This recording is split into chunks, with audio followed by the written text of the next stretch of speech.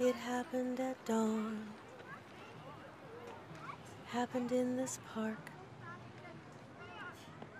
A guy and girl had dallied till the moon was gone. Then it sprang, and up the moment came the suns to blame their love. Happened at dawn. They'd met the night before the water shore. He played his horn across the park. And so they strolled and spoke of years of old back when the folks would dance in the dark. They found a place to sit where all the lamps were lit, their fingers grazed, hands almost touched. So long. Then the sun arose and split the mist. The guy and girl they stole a kiss. It happened at the break of dawn.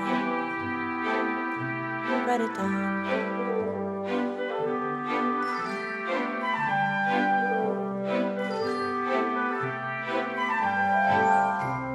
Slipped through his hand, she felt like sand. She wondered if her face was sweet enough. He dove in, he kissed her with a grin, but wondered if his lips felt too rough. Then the sun began its morning run, the fountain won. They thought it might be time to take a chance.